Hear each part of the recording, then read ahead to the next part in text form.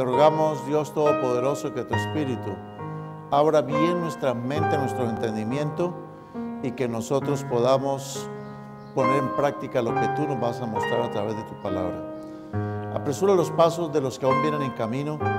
Y Padre, en esta hora no podemos dejar de clamar y de suplicarte por las personas que están padeciendo y sufriendo en estos días, hoy mismo, en este país.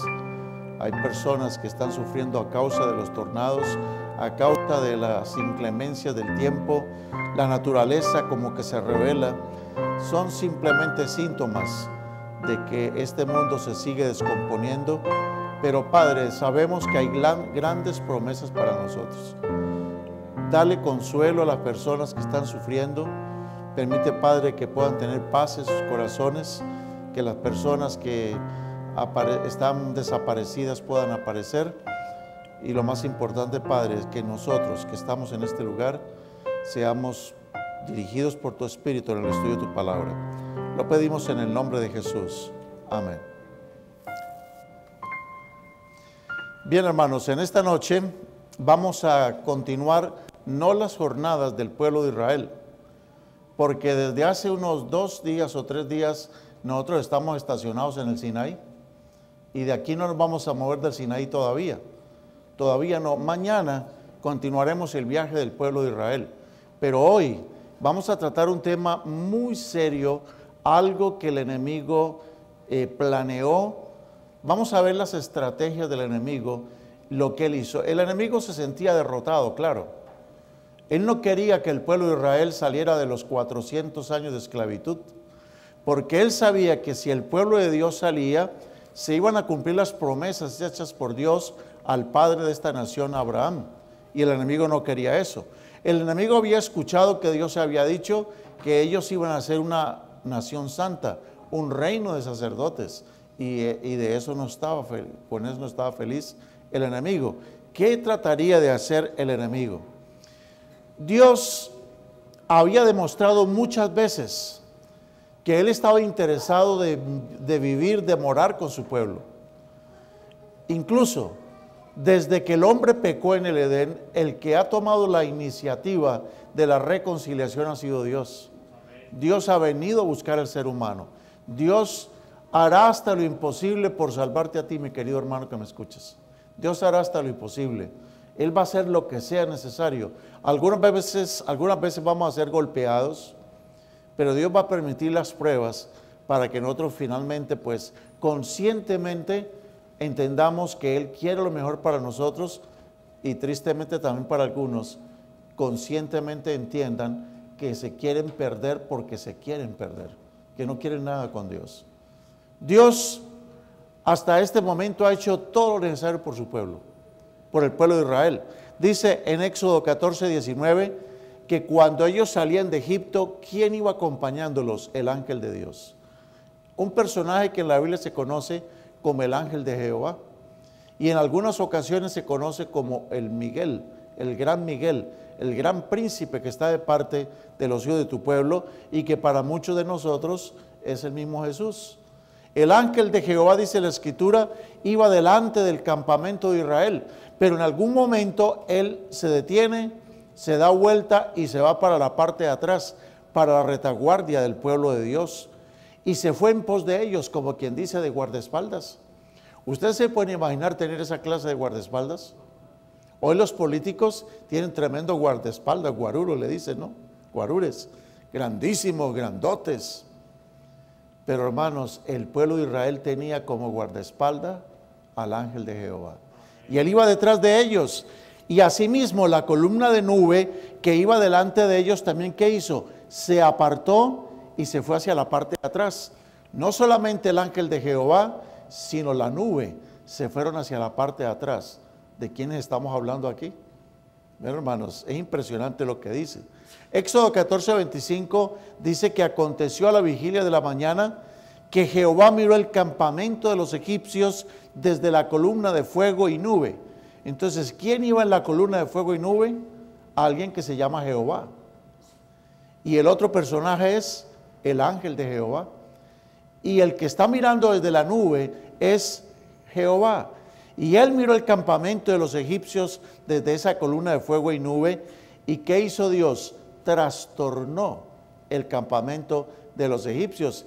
Y los egipcios se dieron cuenta que no eran los israelitas, que no era un ataque antiaéreo, que no era el ejército, no, no tenían ejército, sino mire lo que dijeron los egipcios después de todo esto. Dice que Dios, ¿qué hizo? Le quitó las ruedas de los carros. ¿Por qué Dios hizo eso? Para que no pudieran escapar. El ángel de Jehová, Dios le quitó las ruedas de los carros y los trastornó gravemente. Entonces, ¿qué dijeron los egipcios? Huyamos de delante de Israel porque Jehová pelea por ellos contra los egipcios. Entonces, ¿de quién era la batalla? No era ni siquiera del pueblo de Dios, la batalla era de Jehová. Jehová en nuestro guardaespalda estaba batallando, trastornando a todos los egipcios. Y mis hermanos, y no solamente eso, cuando ya destruyó a los egipcios, Dios se pasó otra vez adelante. Y ahí adelante de ellos iba la columna de fuego o la, o la nube. Y el ángel de Jehová iba también delante de ellos. Y algo muy hermoso es que el Señor le dice a Moisés, mira, voy a usar una figura. Vamos, voy a usar una comparación. Dios dice, ya no quiero ir por aquí como tan arriba. Voy en la nube. ¿Sabe qué? Me voy a ir a pie con ustedes. Y para eso voy a pedirles algo. Háganme una tienda. Háganme un santuario. Y no solamente para qué, para ir delante de ustedes, sino para habitar en medio de ustedes. ¿Se imaginan el Dios que nosotros tenemos?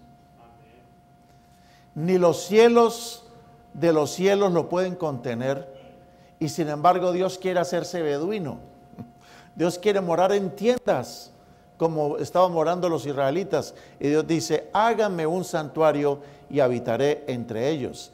Saben hermanos que dentro de no mucho tiempo nosotros hemos de ver cómo se cumple Éxodo, eh, Apocalipsis 21.3. Algo similar a lo que pasó en el tiempo de los israelitas en el desierto. Literalmente la escritura dice de que un día Dios descenderá de los cielos con su gran ciudad y se plantará en la tierra nueva que Él va a recrear.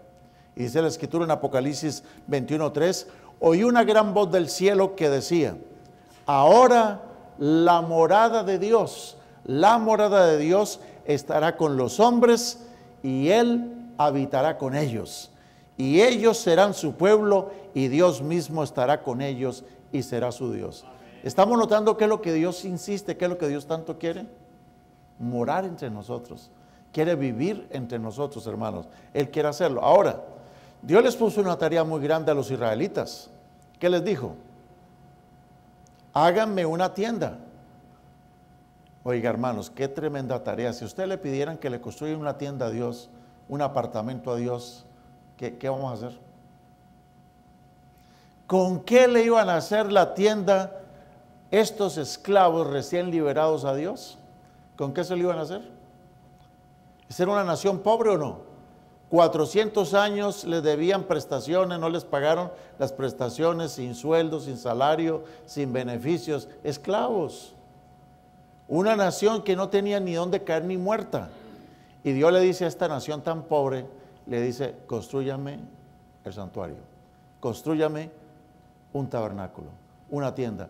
¿Con qué le iban a construir? Ah, vámonos un poquito para atrás. Antes de la salida de Egipto, dice que Dios le ordenó a los israelitas algo. ¿Qué hicieron? Dice Éxodo 12, 35 y 36. Hicieron los hijos de Israel conforme al mandamiento de Moisés y se fueron a donde todos sus expatrones. ¿A qué? A pedirle a pedirle qué? Alhajas de plata, alhajas de oro y vestidos. Y la escritura dice que Jehová dio gracia al pueblo delante de los egipcios y les dieron cuanto pedían y así despojaron a los egipcios los israelitas. O sea que antes de la salida Dios les hizo pedir oro, plata, riquezas, vestidos lujosos, y esta gente les entregaba con tal de que se fueran. Con tal de que se fueran porque Dios era un peligro, era un peligro nacional. No querían ese Dios con ellos. Y mis hermanos, mucha gente se preguntaba, pero ¿por qué Dios les pidió que les pidiera oro, plata y todo esto? ¿Para qué? ¿Para qué era el oro y la plata? ¿Para que las mujeres se los pusieran en las orejas? No, y de hecho se lo pusieron en las orejas. Ellas pensaron, ay, qué linda estamos. Y salieron todas vestidas como egipcias. Como egipcias salieron. Ahora se pintorrenteaban como las mujeres de Egipto. Estaban imitando a sus expatronas. Pero ustedes creen que Dios les hizo sacar oro y plata solamente para que lo lucieran? ¿O cuál era el propósito?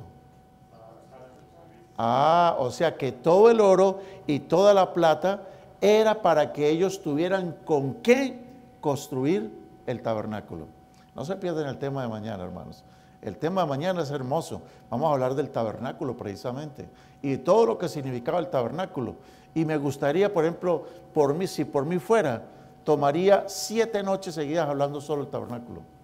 Porque es impresionante lo que dice allí, pero no, eso lo podemos hacer. Quizás más adelante, más adelante. Mis hermanos, Satanás sabía todo esto. Cuando Satanás vio que salieron los esclavos y que iban con los bolsillos y los bolsos llenos de oro, plata, dijo, mm". Y cuando Satanás se dio cuenta que Dios iba en la nube, Satanás estaba lejito. ¿Ustedes creen que Satanás se acercaba al campamento de Dios? No, pero venía atrásito. Y él vio cuando Dios destrozó los egipcios y Satanás tuvo temor. Dijo, ¿qué hago? De modo que Satanás ideó algo para buscar dos cosas. ¿Cuáles fueron las dos cosas que el enemigo quería? Él quería impedir a toda costa de que Dios morara en medio de ese pueblo. Estamos captando la estrategia del enemigo. La estrategia favorita del diablo es, él no quiere que Dios more con los hombres. Si Dios no mora con los hombres, los hombres estamos perdidos o no. Estamos a merced de Él. Por eso el plan número uno del demonio es hacer que Dios no more con los hombres. Y el número dos estamos relacionados. Al no morar Dios con los hombres, pues su segundo plan es hacer perder a todo el pueblo de Dios. Entonces, hermanos, todas las tentaciones, todas las estrategias del enemigo tienen dos objetivos básicos. Impedir que Dios more con los hombres. ¿Y cómo lo va a lograr? Haciendo que los hombres vivan en pecado. Al vivir en pecado, pues Dios no mora con nosotros, porque Dios solamente mora en medio de la santidad. Y como le estudiamos esta noche, anoche, la santidad conviene a Dios, Santiago. La santidad conviene a Dios. De modo que ¿quién morará delante del Altísimo? Solamente el que anda en santidad. De modo que Satanás dijo, hay que hacer algo para impedir que Dios se venga a vivir con esta gente. Y para lograr que se venga eh, a, impedir que Dios se venga a vivir con esta gente, vamos a hacer que esta gente haga algo aborrecible, que Dios lo destruya. ¿Y qué creen que se inventó el diablo? ¿Qué creen que hizo? Dice en Éxodo 32.1 que Dios, ellos vieron cuando Dios llamó a Moisés, el monte retumbó, la gente estaba impresionada, la gente estaba asustada. Ellos se dieron cuenta cuando Moisés reúne a los 70 ancianos que tenía y dice, acompáñame hasta la ladera del monte, pero quédense aquí. Ellos se dieron cuenta. Y ellos se dieron cuenta cuando sus ancianos, que eran los jefes de las tribus, se retiraron y se fueron a la distancia. Y ellos se dieron cuenta cuando Moisés subió a la montaña que estaba humeando, como veíamos en la película, echando fuego, estaba retumbando. La gente tenía miedo. Pero pasó un día, pasaron dos días, tres días, no regresaban los ancianos, Josué tampoco regresaba, Moisés no aparecía. Entonces dice la escritura que cuando el pueblo vio que Moisés tardaba en descender del monte, se acercaron entonces a Aarón. ¿Y qué le dijeron? Levántate, haznos dioses que vayan delante de nosotros. Miren que están diciendo algo bueno combinado con algo malo. Ellos quieren retroceder o seguir avanzando. Ellos quieren avanzar o no. Sí, que vayan delante de nosotros. Pero haznos qué? Dioses. Están mezclando el error con la mentira. Haznos dioses que vayan delante de nosotros, porque a este Moisés, a tu hermano, hmm, ese varón que nos sacó de la tierra de Egipto, no sabemos qué le haya acontecido. De modo que entonces a Aarón se le ocurrió algo terrible, hermanos. Qué horror lo que hizo Aarón. ¿Qué dijo? Apartad los arcillos de oro. Oiga, ¿para qué los tenía reservados Dios?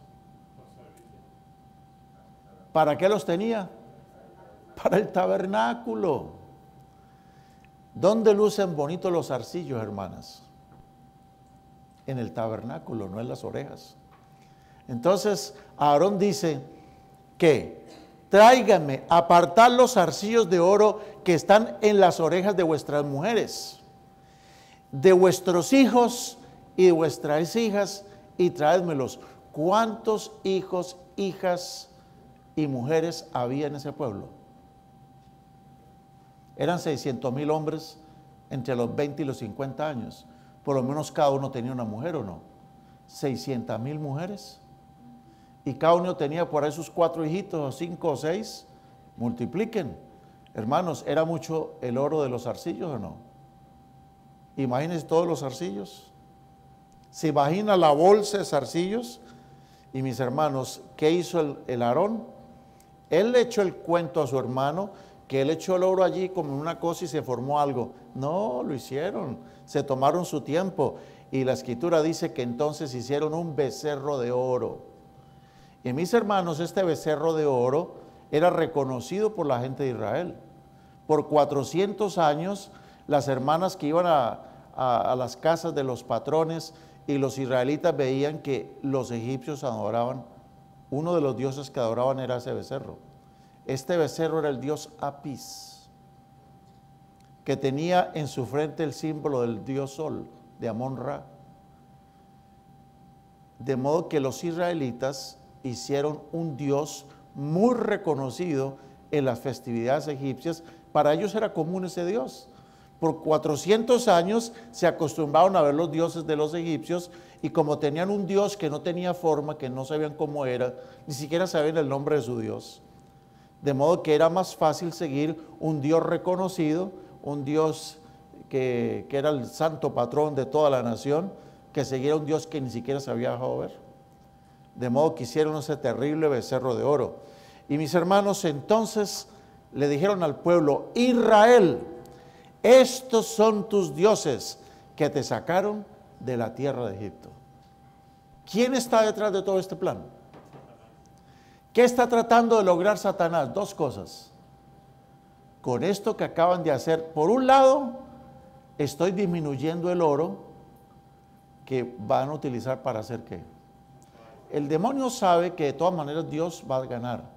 Pero él dice, yo voy a hacer lo que sea necesario para que la gente no lo dé todo a Dios, sino parte de lo que ellos tienen, se lo voy a tratar de hacer que lo desvíen en otro uso.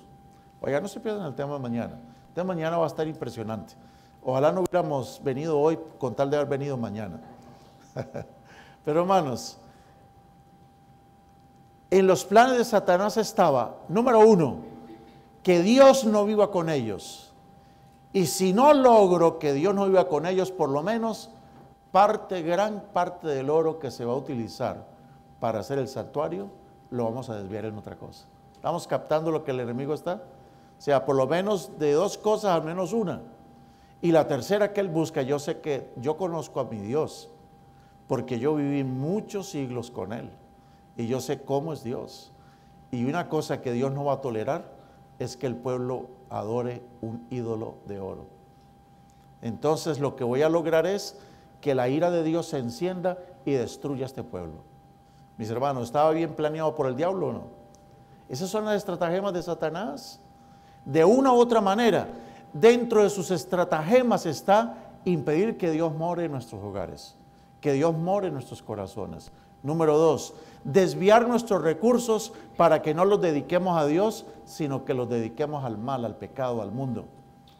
Y lo tercero es hacernos perder. Eso es lo que busca el demonio.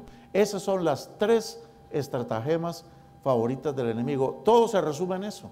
Todas las cosas se resumen en esas tres cosas. Impedir que Dios more con su pueblo Miremos, hermanos, que el becerro de oro fue hecho para desviar los recursos que se utilizarían, utilizarían para hacer el santuario. Varias cosas del santuario iban a ser hechas de oro. Y al haberse perdido el oro de las alhajas, ¿qué hubiera pasado? Y de hecho se perdió. ¿Ustedes creen que Dios utilizó el oro del becerro para su santuario? Lo destruyó, lo pulverizó y les hizo tomar esa agua. Agua con oro y de todo. Les hizo beber esa agua. Y entonces, ¿de dónde sacaron el oro que faltaba? No se pierdan el tema de mañana. ¿Será alguna minita que encontraron por ahí? No, se lo pierdan mañana. No les digo, no les adelanto mucho de dónde sacó Dios el oro. Mis hermanos, lo cierto es entonces que el demonio lo que buscaba era impedir que Dios morara con ellos o que si iba a construir el tabernáculo no fuera, no tuviera por lo menos oro. Iba a tratar de desviar los recursos. Y número tres, que Dios matara a este pueblo. Pero mis hermanos, cuando Moisés bajó del monte Sinaí, todas las estratagemas del demonio se descubrieron. Y ahora, ¿qué va a hacer Dios? ¿Qué iba a hacer Dios? Ahí estaba Aarón, el sumo sacerdote. Imagínense que Dios estaba preparando o quería utilizar a Aarón como sumo sacerdote. ¿Quién estaba detrás para impedir que Aarón fuera el sumo sacerdote? Satanás. Porque este sumo sacerdote, como decimos en el pueblo, la regó. Antes de que lo nombraran sacerdote, mire lo que hizo, un becerro de oro. Entonces, ¿quién estaba detrás de todo? el demonio torpedeando, saboteando el plan de salvación, el plan de Dios, todo lo de Dios. Pero hermano, gracias al Señor, Dios, eh, Dios envía a Moisés y Moisés desciende, destruye ese ídolo de oro y gracias a Dios, sí hubo gente que permaneció fiel a Dios. Y toda esta gente era el pueblo de Dios, todo el mundo era el pueblo de Dios. Pero esto es una lección grande que nosotros aprendemos. No todo lo que brilla es oro. No todos los que son o están son. No todos los que están son y no todos los que son están. Esa es la triste realidad. Y mis hermanos, después de ese día, Dios desenmascaró las estrategias del enemigo, las estratagemas, y libró a su pueblo de una destrucción total. Pero mis hermanos, Dios nos libra de las estratagemas del enemigo, pero nosotros tenemos que aceptar y enfrentar las consecuencias, ¿o no? Sí. O sea, Dios nos perdona, Dios nos ama, pero las consecuencias las llevamos. Dios no nos libra de las consecuencias. Las consecuencias las llevamos, pero Dios nos perdona el pecado. Y dice la Biblia en Éxodo 32, 35, que Jehová hirió al pueblo porque habían hecho el becerro que formó a Aarón. Por lo menos el diablo dice, por lo menos logré algo, ¿no? ¿Qué logró el diablo? Número uno, que parte del oro, el oro de 600 mil mujeres, de, 2 millones 400 mil niños, por decir eh, cuatro hijos por, por pareja, ¿no? Estoy promediando.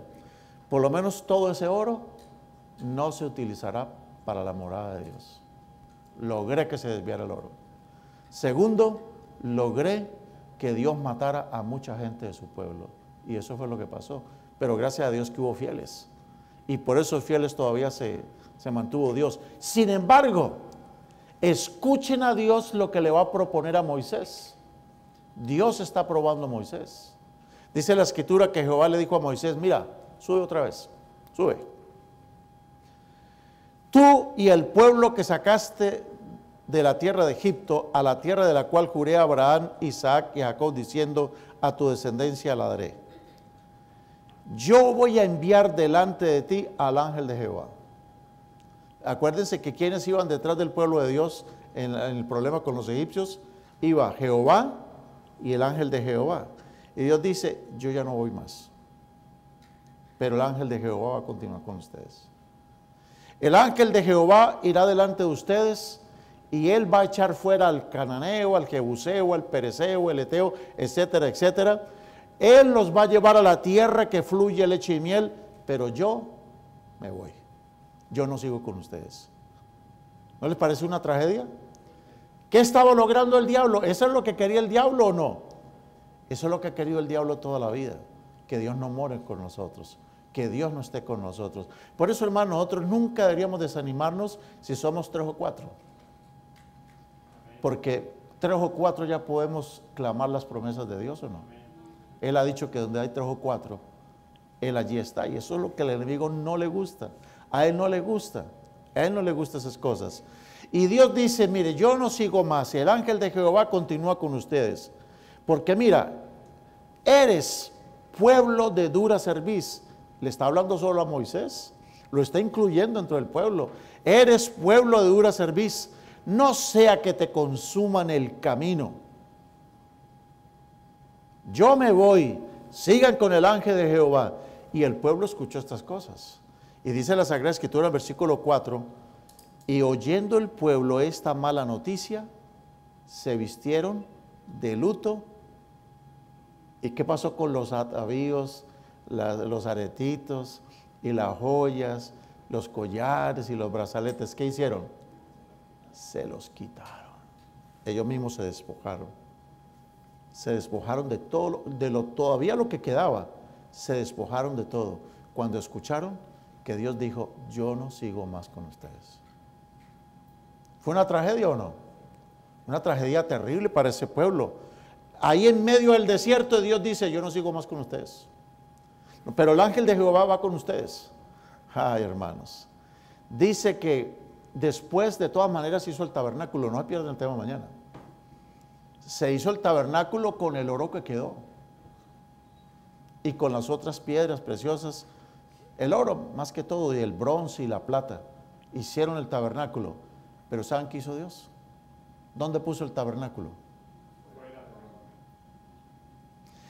Y, Moisés tomó el tabernáculo y lo levantó lejos, fuera del campamento, y lo llamaban el tabernáculo de la reunión. Casi todos los artistas ponen el tabernáculo y todas las tienditas alrededor de él. No, la Biblia dice que el tabernáculo donde lo puso Dios, fuera y lejos y se llamaba el tabernáculo de la reunión. Y cualquiera que buscaba a Jehová salía al tabernáculo de reunión que estaba donde? Fuera del campamento. Dijo, yo no vivo más con ustedes. Ya me mudo de vecindario. No, mudo, no voy a, morar más con ustedes porque si yo moro con ustedes en cualquier momento lo destruyo. Porque Dios es un Dios de santidad, hermanos. Un Dios santo. Y hermanos, son lecciones para nosotros. Cuando estamos, por ejemplo, en la casa de Dios, tenemos que cuidarnos mucho cómo miramos, cómo hablamos, cómo actuamos.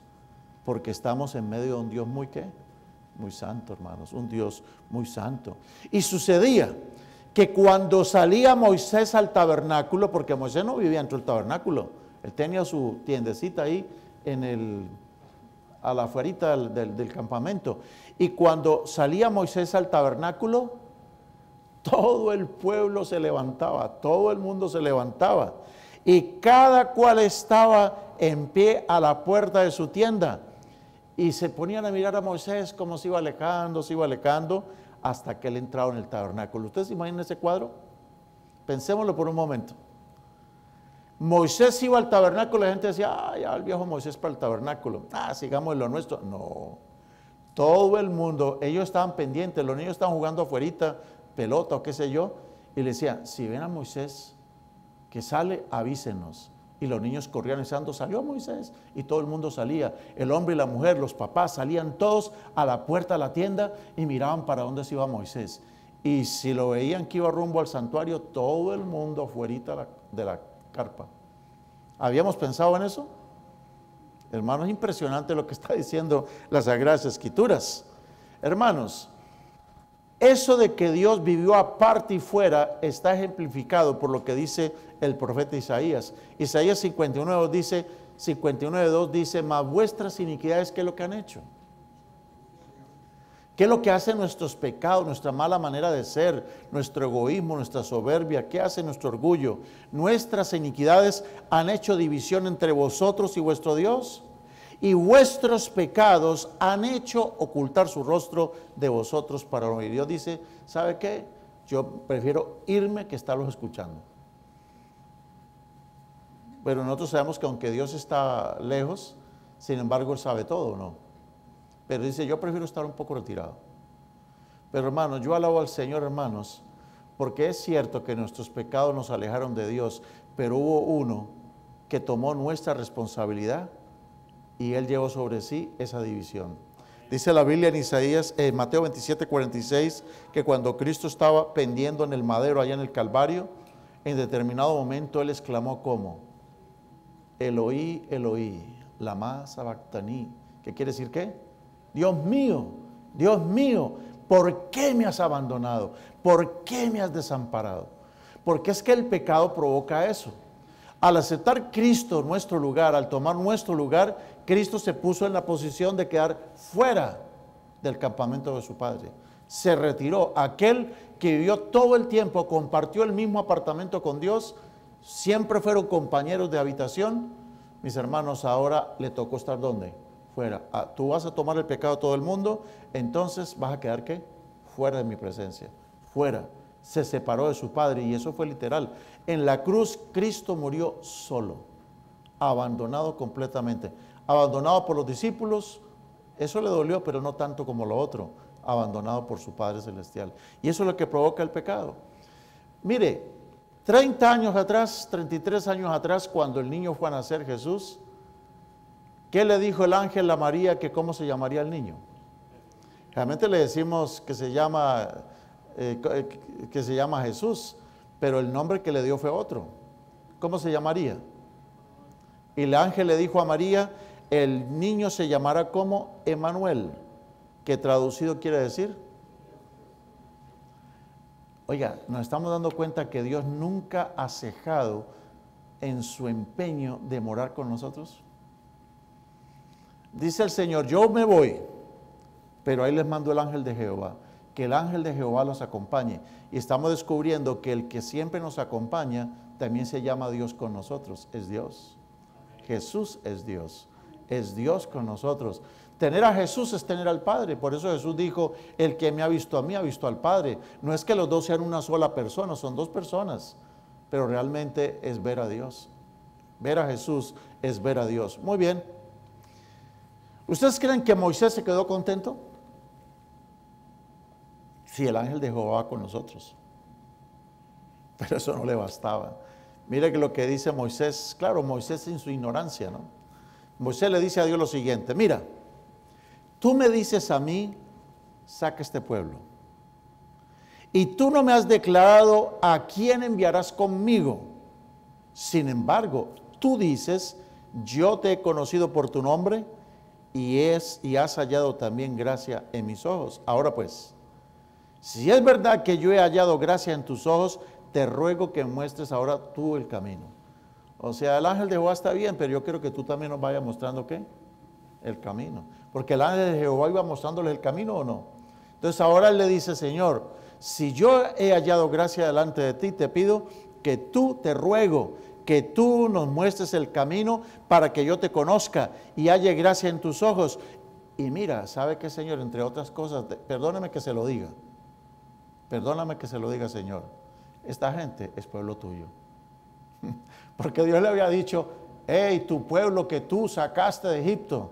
Y Moisés se quedó callado.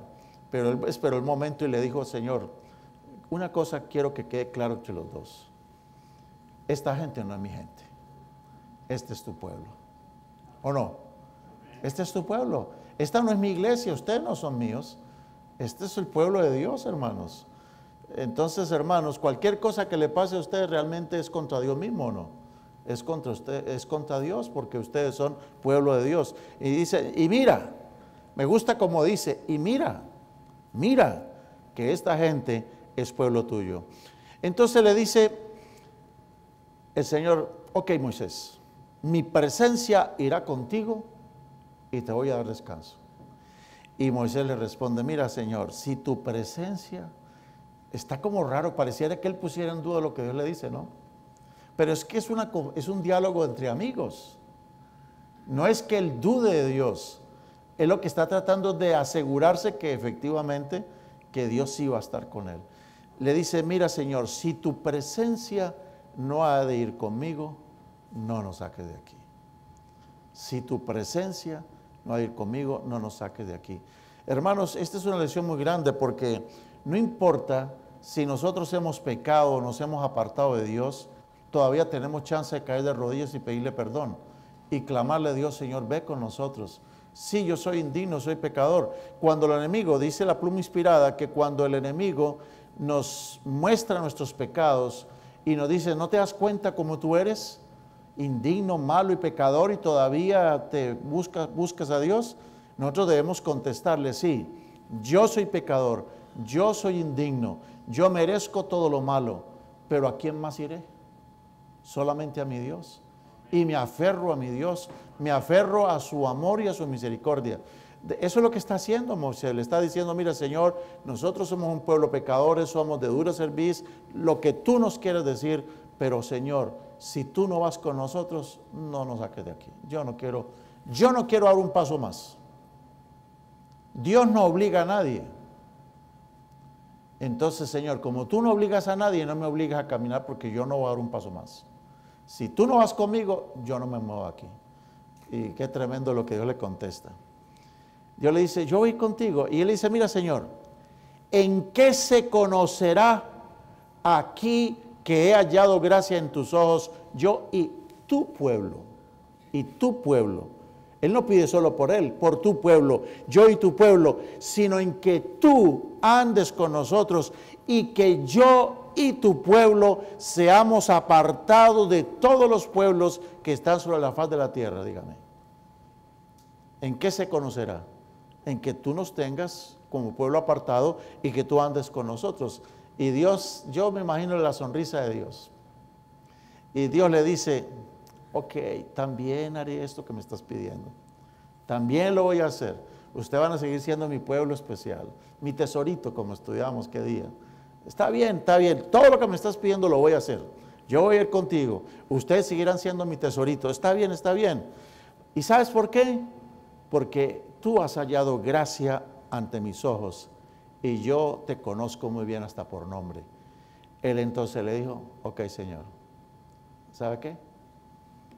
Para sellar el trato de que nos estamos entendiendo los dos, te ruego que me muestres tu gloria. Casi nada, ¿no? Te ruego que me muestres tu gloria. ¿A quién estamos viendo realmente? ¿Es Moisés? Hermanos, Moisés es un símbolo de Jesús. Porque toda esta conversación entre Moisés y el Padre Celestial es la típica conversación entre Cristo y su Padre Celestial. ¿Qué está pidiendo Moisés a que Dios le muestre qué? Que Dios le muestre su gloria. Siglo después, Siglo después, Jesús en el Getsemaní, cuando está a punto de ser abandonado por su padre, cuando se va a separar de su padre, Dios va a poner su carpa aparte de él. Estando en el Getsemaní, en San Juan 17:5, Jesús le dice: Padre, glorifícame tú al lado tuyo con aquella gloria que tuve contigo antes de que el mundo fuese. Moisés reclama: Muéstrame tu gloria. Y Jesús en el Getsemaní, en el momento, eh, es que Jesús vivió algo más terrible que Moisés. Jesús en el Getsemaní, eso no se compara, hermanos. Así como Moisés en el momento tan difícil, cuando la condena estaba para su pueblo, le clama al Señor, Señor, muéstrame tu gloria. Jesús en el Getsemaní también dice, ¿qué cosa? Muéstrame tu gloria. Dame aquella gloria que tuve contigo antes de que fuera el mundo. Y Moisés le decía a Dios, Señor, y no solamente a mí, y a tu pueblo también. Y mire lo que Jesús le dice también al Señor. La gloria que me diste, yo le he dado a mi pueblo también. O sea que Moisés no quería la gloria solo para él, que se la compartiera, sino que la gloria de Dios se manifestara también en su pueblo, ¿no? Y Jesús, siglos después, está pidiendo lo mismo en Getsemaní. Padre, muéstrame tu gloria. Porque esa gloria que tú me estás mostrando es la gloria que yo le he dado a mi pueblo para que sean uno, así como nosotros somos qué? Uno. ¿No les parece una similitud muy grande? Hermanos, es maravilloso lo que está pasando en el monte Sinai. Y lo que viene, hermanos, es sobrecogedor, impresionante. Y Dios le contesta, mire, ¿sabes qué? Está bien, listo. Te voy a mostrar mi gloria. ¿Y cuál es la gloria de Dios? A ver, Es muy brillante que dicen. ¿Cómo, ¿Cómo describir la gloria de Dios? ¿Cuál es la gloria de Dios? Moisés le pregunta, le dice, muéstrame tu gloria. ¿Cuál será la gloria de Dios? ¿Las calles de oro? ¿El oro? ¿El universo? ¿Las estrellas? ¿Cuál es la gloria de Dios? Mire lo que Dios le contesta, está bien Moisés. Yo haré pasar todo mi bien delante de tu rostro. Entonces, ¿cuál es la gloria de Dios? Su bien, su manera de ser. Proclamaré el nombre de Jehová delante de ti. Ese nombre que nadie lo conocía, nadie sabía cuál era el nombre. Dios dijo, a ti te voy a proclamar mi nombre, un nombre que nadie conoce. Proclamaré mi nombre, el nombre de Jehová delante de ti. Y Moisés, yo tendré misericordia del que tendré misericordia y seré clemente para con el que seré clemente. Y le dijo algo más Dios, pero una cosa te voy a decir, no vas a poder ver mi rostro. No podrás ver mi rostro porque no me verá hombre y vivirá. Y dijo aún más Jehová, he aquí un lugar junto a mí. ¿Un lugar junto a qué? Junto a mí. ¿Quiénes somos nosotros para tener un lugar junto con Dios? Pero Dios le dice, he aquí un lugar junto a mí y tú estarás sobre la peña. En la parte más alta del monte Sinaí, en medio de ese monte retumbando, en medio del fuego, ¿qué hombre se atreve a pararse allá, hermanos? Pero vean ustedes, hermanos, y Dios le dice, y cuando pase mi gloria, yo te pondré en una hendidura de la peña y te cubriré con mi mano hasta que haya pasado. Y después apartaré mi mano. ¿Qué es más santo? ¿El rostro de Dios o la mano de Dios? ¿Qué es más santo? ¿Ustedes creen que hay una parte del cuerpo de Dios que sea más peligrosa, más gloriosa? ¿Usted sabe lo que Moisés sintió cuando Dios le puso la mano en la cara?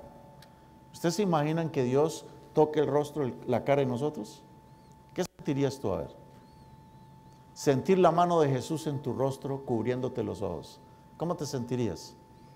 Y dice el Señor, y yo pondré mi mano hasta que haya pasado, y después apartaré mi mano y verás mis espaldas, mas no verás mi rostro. Pero Moisés le vio algo, no digo mejor, le vio la mano. Y cuando Moisés le vio la mano, ¿le vio la mano enterita o no? Una mano impecable una mano sin resequedad, una mano sin callos, una mano como perfecta. Y cuando Moisés volvió a ver las manos de Jesús, ¿cómo se las volvió a ver? Traspasadas por los clavos. Esas manos que protegieron a Moisés en la gruta, allá en la roca, esas mismas manos, Moisés después las reconoció.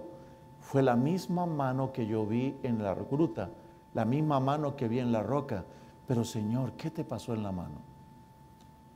Ya sabemos lo que a Jesús le pasó en la mano o no. Hermanos, ¿no les parece hermoso lo que estamos estudiando? A, mí eso me sobrecoge sobremanera. Bueno, hermanos, hasta ahora el diablo ha querido salirse con la suya, pero no ha podido. Pero ha logrado cositas o no? Ha logrado algunas cosas. Pero lo que el diablo más procuraba era hacer que Dios matara a ese pueblo. Que Dios destruyera a su pueblo. Y por eso cuando Moisés, miren ustedes hermanos, ¿cuál es la forma más fácil de perdernos? El diablo sabe que con esto hace perder al pueblo. La forma más fácil de hacerlo perder a uno es llevarlo a quebrantar los mandamientos de la ley de Dios. Por eso, eso que hizo Moisés tiene un significado muy grande. Cuando Moisés baja del monte Sinaí y ve al pueblo cometiendo idolatría, ¿estaban violando uno de los mandamientos o no? Él venía a leerle las tablas, a mostrarles la caligrafía, la ortografía de Dios. Dice, ni para qué les muestro si aquí nomás el segundo mandamiento, miren el becerro oro que están haciendo. Dijo, no, esto no vale. Y rompió las tablas. Ese acto que hizo Moisés es muy significativo. Cuando tú y yo quebrantamos uno de los mandamientos, estamos rompiendo todo tipo de relación con el Padre. No puede haber relación con el Padre mientras nosotros estemos quebrantando uno de sus mandamientos. Yo no puedo pretender estar con mi Dios cuando en mi conciencia yo sé que estoy quebrantando un mandamiento. Ahora, ¿cuál mandamiento más importante de los diez? ¿Qué parte de las tablas de piedra era más fina que la otra parte? Pero todos los mandamientos fueron escritos por el dedo de quién? De Dios. Y Jesucristo dijo, ni una i ni una tilde podrán ser tachados de la escritura de Dios. Mis hermanos, por eso Santiago dice en Santiago 2.10 que cualquiera que guardare toda la ley, pero ofendiera en un punto, ¿qué? Se hace culpable de todos. Entonces, ¿cuál es la gran estrategia del diablo? ¿Cuál es su gran estratagema? Por lo menos uno. Él es amplio, Él es generoso, hermanos. Él no dice, yo no quiero que sean demonios como yo, completamente endemoniados. No, no, no. Yo los quiero a ustedes bien arregladitos, bien compuestitos. Los quiero buenos padres, buenos ciudadanos. Con uno solito que me fallen. Con uno solo me basta para que la relación con el Padre Celestial se rompa. Un solo pecado hizo que Dios apartara su vista del Padre Celestial, de, de su Hijo Celestial. Porque dice la Biblia en Santiago 2.11, porque el que dijo, no cometerás adulterio. ¿De cuál ley está hablando Santiago? ¿De cuál ley? ¿En qué parte de la ley dice no cometerás adulterio? ¿En cuál libro de Moisés? Éxodo 20, los diez mandamientos. El séptimo mandamiento, el que dijo, no cometerás adulterio, también ¿qué dijo? No matarás. El sexto mandamiento. Ahora bien, si tú no violas el séptimo mandamiento, pero fallas en el sexto, oiga, ni siquiera nos mencionó el cuarto, que es tan tremendo, ¿no? Ni siquiera mencionó el tercero, ni el segundo, ni siquiera el primero. No, los otros aparentemente menos importantes. Dando a entender que todos los mandamientos son valiosos e importantes delante de Dios. Y estos cuadros ustedes los han visto muchas veces. Nosotros sabemos, aquí no me detengo mucho, cuando nosotros comparamos la Biblia y el catecismo, descubrimos por lo menos que en el catecismo ya se desapareció el segundo mandamiento. El mandamiento que prohíbe levantar becerros de oro. Porque ¿qué dice el segundo mandamiento? No te harás imágenes. Vamos a decir, pero espera un momentito, un momentito, vamos a hacer un cordero y de oro y lo vamos a poner en el altar aquí en el templo. ¿Y por qué un cordero? Porque el cordero es un símbolo de Jesús. Digo, no, señor, no me ponga ninguna imagen. Dice, no me ponga ninguna imagen y mucho menos la use con el propósito de adorarla. Es que el problema es doblar sus rodillas delante de las imágenes. Él no admite esas cosas. El único que puede ser venerado es quien Dios. Y seguimos mirando todos los mandamientos, descubriremos de que también hubo otro mandamiento que fue eliminado. ¿Y cuál fue? El cuarto mandamiento de la ley de Dios. Entonces, dos, la escritura dice, el que ofendiere en uno, se hace culpable de todos. Pero el diablo ha logrado que la mayor parte de la humanidad ande violando dos mandamientos. El segundo y el cuarto mandamiento. El resto, hermanos, es, como diría la guía, algo muy simple, muy sencillo. Todos los demás mandamientos el enemigo se tomó, la, se tomó el cuidado de que aparecieran igualitos, de que toda la gente dice, no, yo no mato, yo no robo, yo no hago nada malo, yo no ando quitándole la mujer a nadie, eh, yo no ando codiciando, en fin, yo no ando haciendo nada malo. Pero el demonio logró que por lo menos fallaran en uno de los mandamientos. Y noten ustedes que no solamente el demonio logró cambiar dos mandamientos de la ley de Dios, sino que el último mandamiento también le hizo otro maquillajito allí, le hizo otra cirugía. ¿Qué hizo con el último mandamiento de la ley de Dios? El último mandamiento de la ley de Dios, nosotros lo sabemos, hermanos, que ¿qué hizo él? Él toma el décimo mandamiento que dice, no codiciarás la mujer de tu prójimo ni los bienes de tu prójimo, y lo partió en dos, para que la cuenta siguiera dando cuánto? Diez. Entonces estamos viendo una mente inteligente, alguien que logra que la gente sea religiosa y se pierda. Porque la gente que guarda esos mandamientos falsos es gente religiosa o no? Es gente religiosa. El enemigo quiere que yo me pierda incluso yendo a una iglesia. Eso quiere, hermanos, el enemigo. Bien, dice Santiago 2.12, así hablad y así haced como los que habéis de ser qué? Juzgados juzgados por la ley de la qué? ¿Cómo se llama nuestra campaña? Éxodo. Y todos los días decimos libres de algo, libres de algo, libres de algo, libres de algo. Dios llama a su ley como la ley de la libertad. El que anda de acuerdo a la ley de Dios anda en libertad, ¿o no? Pero ¿cómo podré yo vivir en libertad cuando en mi conciencia hay un mandamiento que yo estoy violando? Dice Santiago, Apocalipsis 14, 12, aquí está la verdadera paciencia de los santos los que guardan los mandamientos de Dios y tiene la fe de Jesús. Pero Santiago sigue diciendo, hermanos míos, ¿de qué le aprovecha una persona que dice que tiene fe si sus obras no lo acompañan? ¿De qué le sirve esa fe? ¿Podrá esa fe salvarla? Siempre ha sido ilustrado esto con un barquito que tiene dos remos. La ley es un remo y la fe es el otro remo. ¿Qué ocurre cuando una persona pierde uno de los remos y solo quiere remar por un lado? Solo fe, solo fe, solo fe. ¿Y qué está pasando con la persona en el barquito? Solo fe, solo fe. No avanza. Dice, no, no, no, la ley, la ley. Entonces comienza a qué? A dar vuelta por el otro lado y no avanza. Entonces, ¿qué se necesita? Agarrar los dos remos y qué? Avanzar armoniosamente. La fe acompañada por las obras. Dice Santiago 17, así también la fe, si no tiene obras, si no tiene la obediencia a la ley de Dios, es una fe muerta en sí misma. Podrá alguien decir, yo tengo fe, y otro decir, yo tengo obras. Y él dice, muéstrame tu fe sin tus obras, que yo te voy a mostrar mi fe por mi obediencia a la ley de Dios. Yo te mostraré mi fe por las obras. ¿Cómo es la fe del diablo? ¿Ustedes creen que el diablo tiene fe? Sí. Sí, la Biblia lo dice. Santiago 19, ¿tú crees que Dios es uno? Te felicito. También el diablo cree.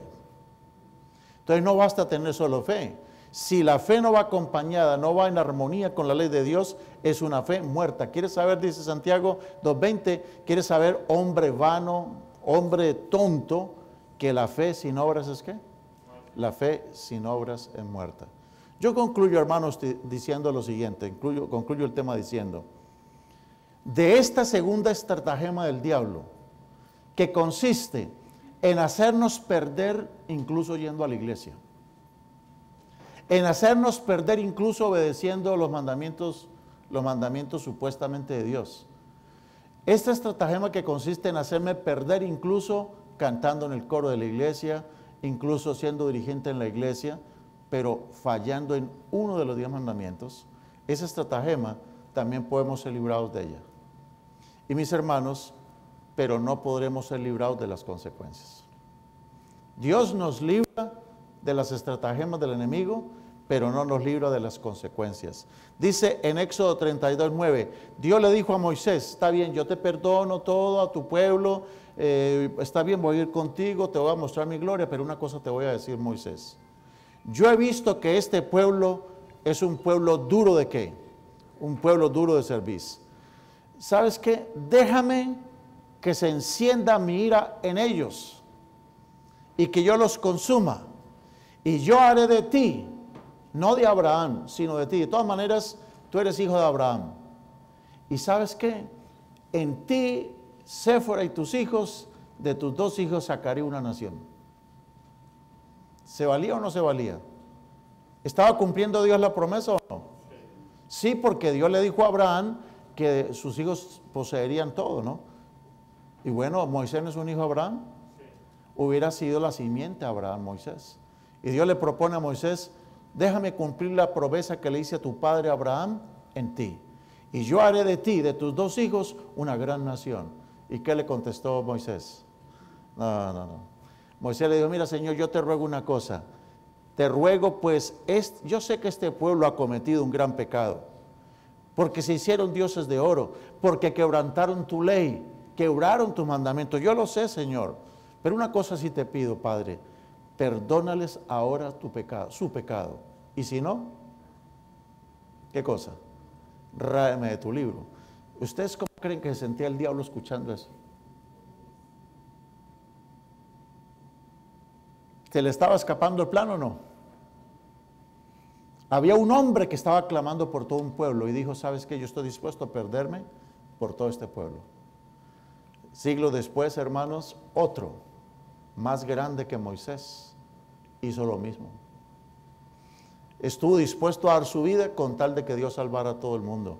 Despreciado y desechado entre los hombres, este varón de dolores experimentado en quebranto, del cual nosotros escondimos el rostro, ese que fue menospreciado y nosotros no lo estimamos, ese estuvo dispuesto a llevar nuestras enfermedades, sufrió nuestros dolores y nosotros lo tuvimos por azotado y para acabar de completar lo más terrible y horrible de todo, es que ese Jesús fue herido de muerte por su propio Padre. Por eso lo dice Isaías. Fue herido de Dios y abatido. Abatido quiere decir que muerto. Muerto de Dios. El herido fue por nuestras rebeliones, fue molido por nuestros pecados y el castigo de nuestra paz fue sobre él y por su llaga nosotros fuimos curados. Toda la ira del Padre se concentró en el Hijo y por eso Jehová, dice la Escritura, cargó en Cristo el pecado de todos nosotros. Moisés no tuvo que llevar el pecado del pueblo, pero Cristo sí llevó el pecado del pueblo y en Cristo sí se cumplió lo que dijo Moisés. Ráeme. Y lo que Dios hizo en la cruz con Cristo, que fue? Raerlo. Porque lo que Cristo sufrió en la cruz no fue una muerte común y corriente, sufrió la muerte segunda, que es la muerte de la que nadie se resucita. Él sufrió la, la pena del pecado, sufre la muerte segunda y el Espíritu Santo lo resucita. Dice Isaías 53, 7, como un cordero fue llevado al matadero y como una oveja delante de sus trasquiladores enmudeció y no abrió su boca. Y por eso Cristo podía decirle a su Padre, Padre. Imagínense que la conversación es parecida a la de Moisés o no. Miren lo que está diciendo. Padre, aquellos que me has dado, quiero que donde yo estoy, Mire la condición que le está poniendo Jesús a su Padre. Padre, yo quiero que donde yo estoy, ellos también estén conmigo. Moisés le dice, Señor, está muy linda tu propuesta, pero yo no estoy interesado en hacer de mi descendencia, de mis dos hijos, una gran nación. Este es todo tu pueblo. Y Dios, él, ¿saben que eso podía haber funcionado o no? ¿Podía haber funcionado?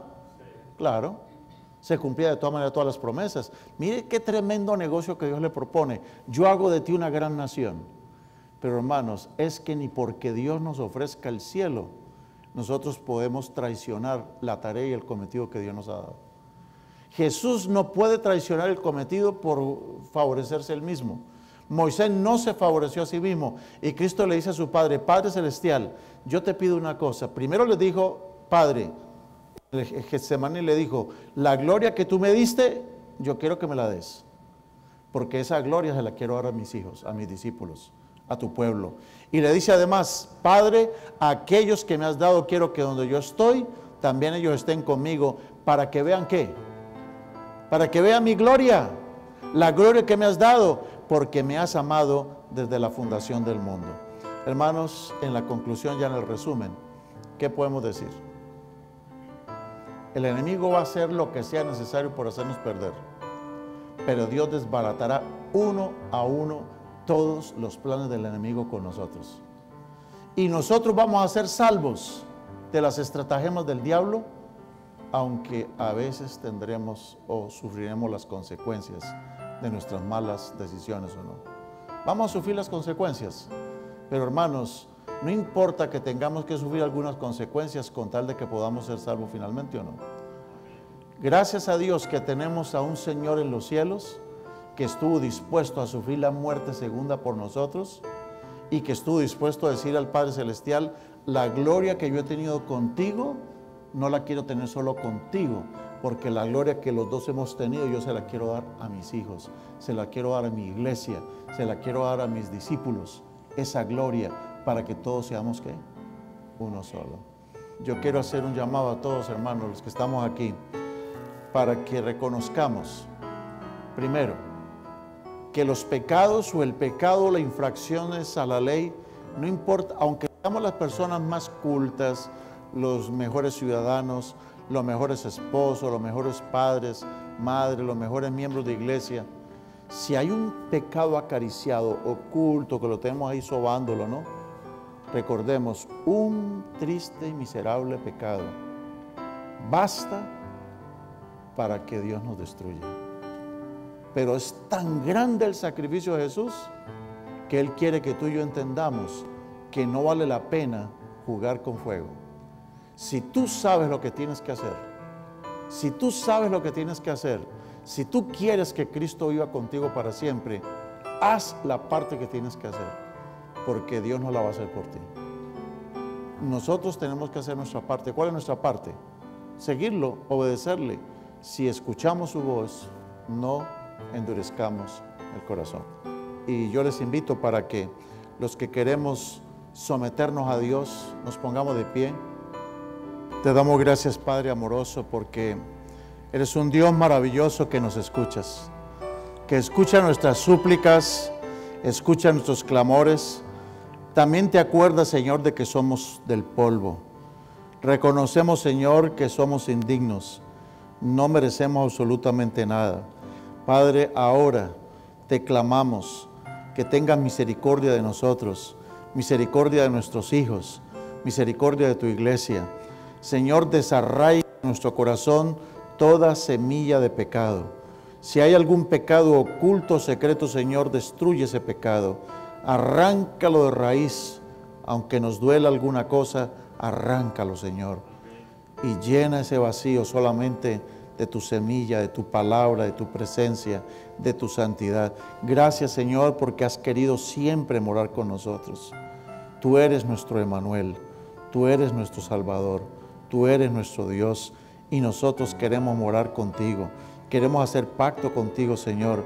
Sé nuestro Dios y nosotros queremos ser tu pueblo. Y como decía Moisés, si tu presencia no va a ir con nosotros, no nos saques de aquí, Señor si tú no vas con nosotros, no queremos ir a ningún lugar.